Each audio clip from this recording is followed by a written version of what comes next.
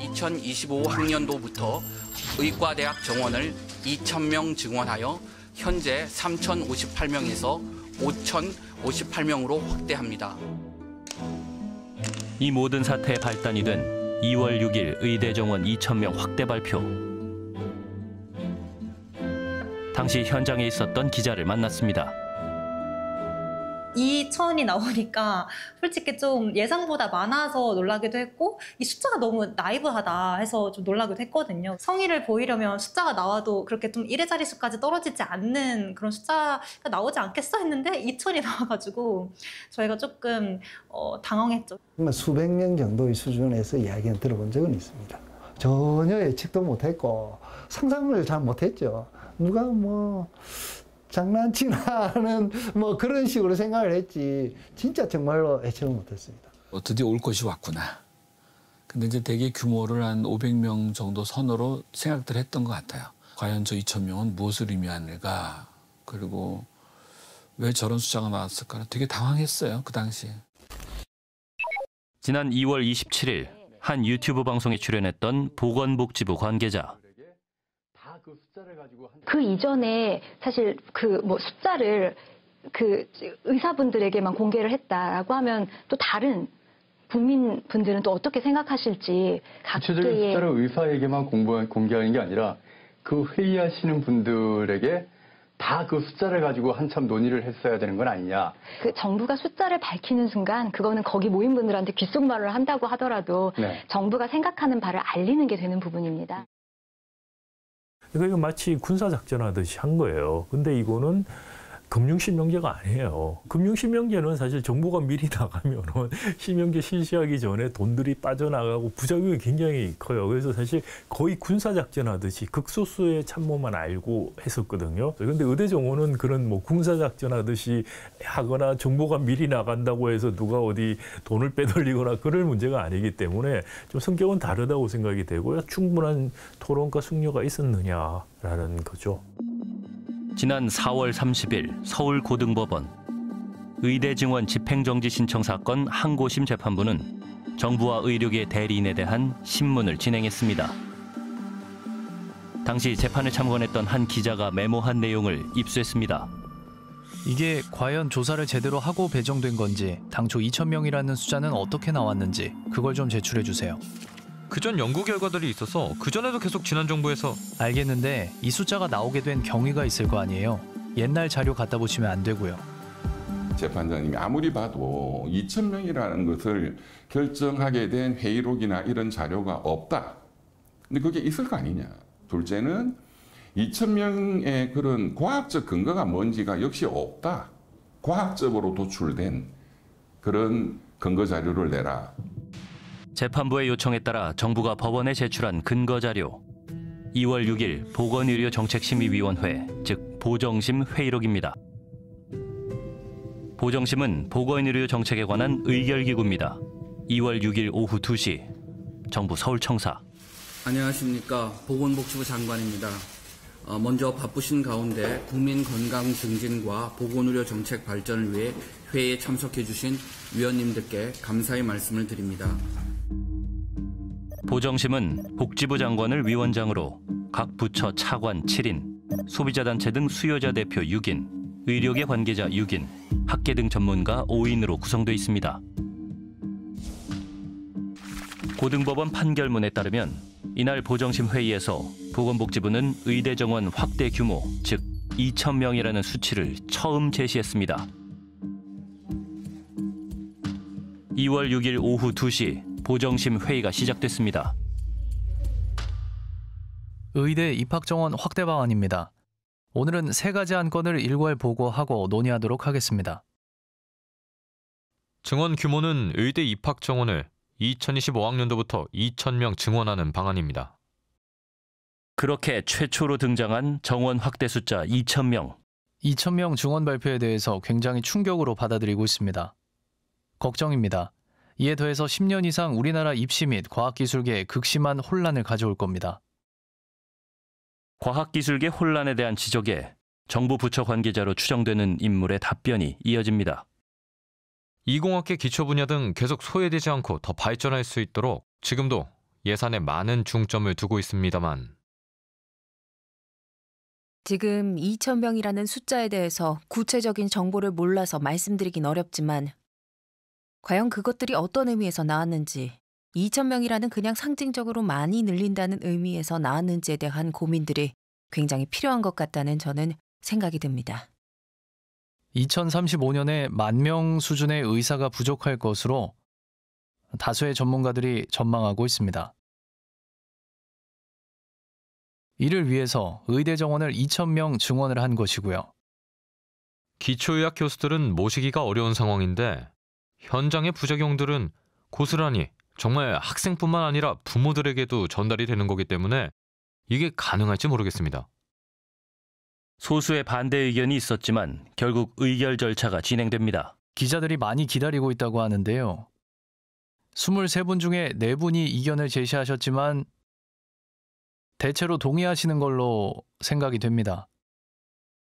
이의 없으십니까? 그러면 의결되었습니다. 이상 논의를 마치겠습니다. 이렇게 2,000명이라는 숫자가 최초로 제시된 회의가 1시간 만에 종료된 직후인 오후 3시. 2025 학년도부터 의과대학 정원을 2,000명 증원하여 현재 3,058명에서 5,058명으로 확대합니다. 정부의 결정 근거는 명확합니다. 2035년에 의사 1만 명이 부족하다는 여러 전문가의 과학적 방법론에 기초한 연구 결과가 있었습니다. 정부가 의대 정원 확대 규모를 결정하기까지 주요하게 참고했다는 세 개의 논문. 2035년 부족한 의사 수를 세 논문 모두 만 명 안팎으로 분석하고 있습니다. 그런데 정원 확대 방식에 대한 주장은 다릅니다. 지난 3월 7일 국회 공청회 새 논문의 저자가 모두 참석했습니다. 제 보고서를 이제 인용을 해서 그, 어, 그 근거로 2천 명을 얘기했지만 합리적으로 정원을 늘린다면 500에서 1000명이다 이렇게 정리를 해놨습니다. 4년 전 얘기입니다. 2천 명이라고 어, 제가 적, 적절한 인원 증가라고 보고서에 쓴 바가 없고요. 한꺼번에 큰 수를 증원을 할 경우에 발생할 수 있는 그런 교육 현장의 문제점, 또 수련 현장의 문제점 이런 점들을 고려를 해서 점진적으로 증원하는 것을 제안을 했던 것이고요. 그러니까 조금 호흡을 길게 갖고 가는 게 좋겠다. 만 명을 목표로 했다 하면 정부에서 그러면 천 명씩 이렇게 가서 가는 게 조금 좋지 않았을까 이런 아쉬움을 제가 토로를 하는 거죠. 네. 보건복지부에 2천 명이라는 수는 누가 어떻게 결정한 것인지 물었습니다. 보건복지부는 보정심 회의에서 심도 있는 논의를 진행한 끝에 의결된 것이라는 답변을 보내왔습니다. 의대 정원 확대 계획과 함께 발표된 의료개혁 4대 정책. 지방에 산다는 이유만으로 제대로 된 의료 서비스를 받지 못한다면 선진국이라고 말하기에 부끄러울 것입니다. 오늘 발표하는 4대 정책 패키지는 무너져가는 우리 의료 체계를 바로 세워서 국민의 건강과 생명을 지키겠다는 약속의 일환임과 아울러 필수 의료 4대 정책 패키지의 첫 번째가 의료 인력 확충이고 두 번째는 지역 의료의 투자를 확대하겠다는 등의 지역 의료 강화 방안입니다.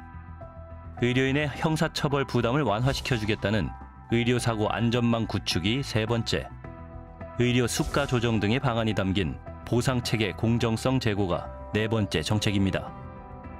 공공의료를 늘리겠다든지 지불 제도를 뭐 어떤 식으로 바꾸겠다든지 아니면 건강보험 제도를 어떻게 하겠다든지 이런 이야기는 전혀 없어요. 그러니까 사실 의료개혁이라고 말할 수가 없고 의사를 증원하기 위해서 의사들을 설득할 수 있는 몇 가지를 담은 거예요.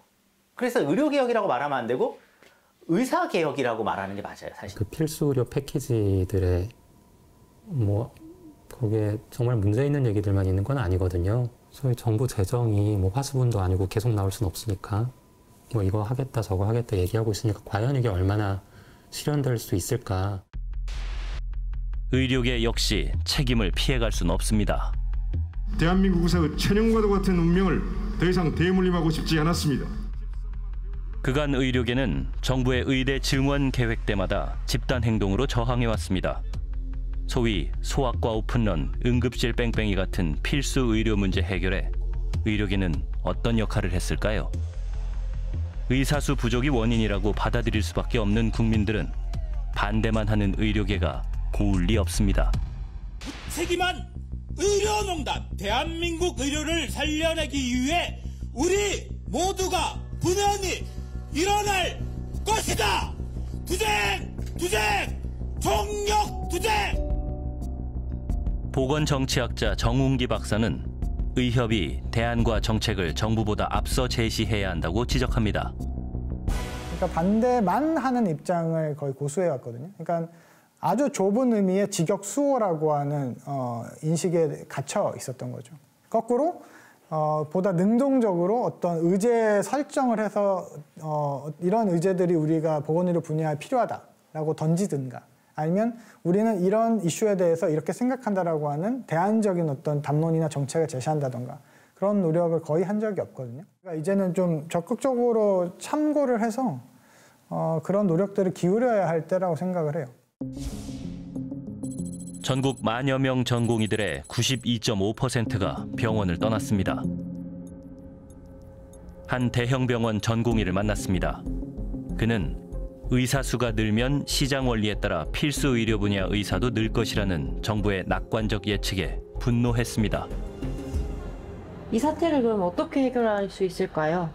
저도 궁금합니다. 사실 지금 지금 원점 재논의를 하고 모든 걸 없다고 하더라도 이미 무너지기 시작했어요. 이미 필수 의료는 무너지기 시작했고 이미 뭐 내과, 외과 그런 필수과를 하던 전공의들은 사태가 원점이 되더라도 돌아가지 않겠다라는 전공의들이 굉장히 많아요. 이번 사태가 파국으로 치닫게 되는 것은 아닐지 우려하지 않을 수 없습니다. 이 상황이 2024년 2월 이전으로 좀 돌아갔으면 좋겠어요. 의사 국민 간의 그런 신뢰까지도 좀 회복된 상태였으면 고려를 하겠지만 만약에 그게 아니라고 한다면 진지하게 좀 고민이 많은 상태입니다. 그 외의 진로도 좀 알아보고 있는 상태입니다. 본인이 열심히 노력해서 수련을 받아서 내가 전문의가 돼서 어느 정도 기여를 할 수 있는 분야가 커야 되는데 정부가 너희들은 낙수의사니까 너희들은 국가가 필요한 의료를 당연히 해야만 돼 라는 쪽으로 몰아가 버리니 지금 그런 의료를 하겠다고 마음먹은 친구들이 나는 그렇게 하고 싶지는 않아요 하면서 사직서를 내고 나오는 거죠. 필수 의료 인력의 문제라든지 또는 지역 의료의 문제는요 사명감과 그것을 했을 때 내가 미래가 있다라는 비전을 보여줘야 해결이 되는 거지 이번 기회를 통해서 비전과 사명감은 절단이 나버렸거든요. 그럼 과연 이게 우리가 바라는 이 대란을 겪으면서 바라는 결과일까? 너무너무 다들 어리석었죠. 의료계도 그렇고 정부도 그렇고 속된 말로 지금 우리가 뭘 한 거지라는 생각을 하는 거죠. 이러다가 그냥 흐지부지 흐지부지 돼서 뭐가 어떻게든 해결은 되겠지만 그 결과는 굉장히 참담할 것 같아요. 안녕하세요. PD수첩 오승훈입니다. 어, 더 많은 영상을 보고 싶으시다면 구독과 추천 영상을 확인해 보시기 바랍니다.